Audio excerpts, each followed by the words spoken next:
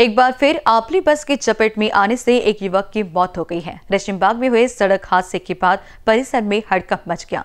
लोगों की भारी भीड़ जमा हो गई। सूचना मिलने पर पुलिस की टीम मौके पर पहुँची।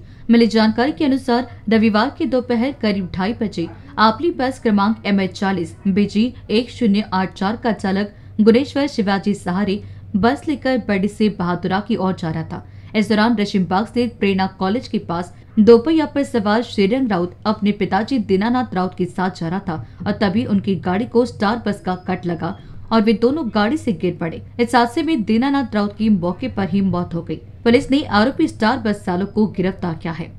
दिनांक चार आठ दोन हज़ार चोवीस रोजी दुपारी अडीच वाजण्याच्या सुमारास फिर्यादी श्रीरंग दिनकर दीनानाथ राऊत हे आपल्या वडिलासह ऍक्टिवा गाडीने जात असताना क्रीडा चौक ते आवारी चौकच्या दरम्यान स्टार बसचा त्यांच्या वाहनाला धक्का लागला आणि त्यामध्ये त्यांचे वडील मयत दीनानाथ उर्फ दिनकर बाबुरावजी राऊत वय पासष्ट वर्ष यांना गंभीर जखमी होऊन ते मयत झालेले आहे.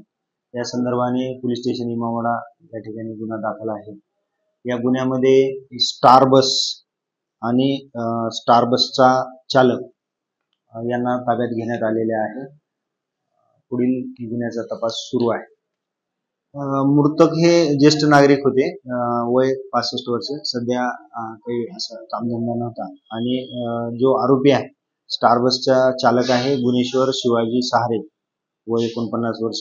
राहणार राणी दुर्गावती चौक नागपूर. त्यांना गुन्ह्यामध्ये अटक करण्यात आलेली आहे. कैमरा पर्सन अखिलेश भारद्वाज के साथ अभिषेक पांसे की रिपोर्ट।